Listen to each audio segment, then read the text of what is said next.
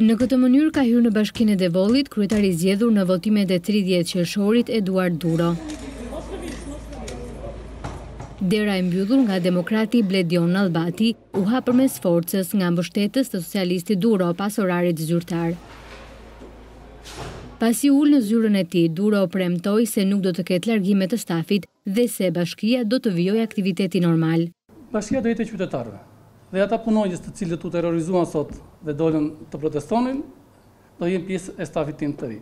Më herët për shkak se Bledion Nallbati me mbështetjen e simpatizantëve opozitarë nuk ia liroi zyrën Eduard Duros, ky i fundit u betua në nënprefekturë, në prani të Taulant Ballës e Niko Peleshit.